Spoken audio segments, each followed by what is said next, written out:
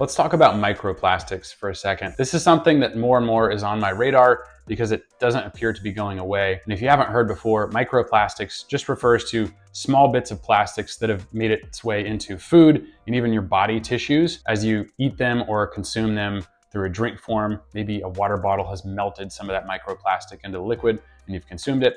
So we know that these do produce harmful effects such as disrupting hormones in your body.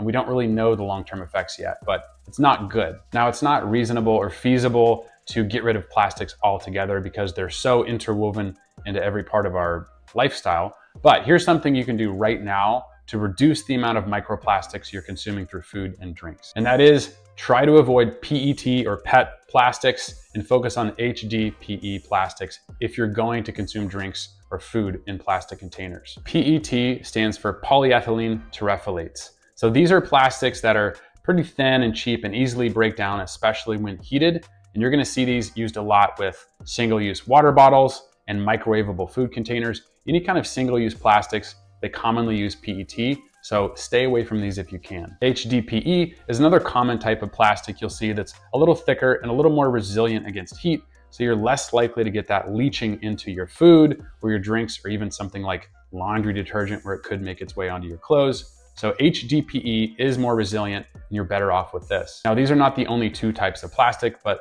they are by far the most commonly used and you can see them on most plastic containers. So if you flip the bottle upside down, you're usually going to see some letters and numbers. So look for PET.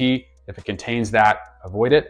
If it has HDPE, you're less likely to get microplastics leaching into whatever you're consuming. Now, I'll be honest, this is not something that was on my radar uh, until recently, and we've started moving away from it. If you looked at our kitchen five years ago, you would have seen a lot of plastic trays. We didn't warm them up in the microwave, but we did use them for food storage. Now we've moved toward glass and paper. So I recommend you do the same thing. But again, it's, it's really tough to get rid of plastics completely. So at this point, I just wanted to give you one thing you can do to help reduce your overall microplastic consumption and the load on your body. Follow me for more practical health tips like this.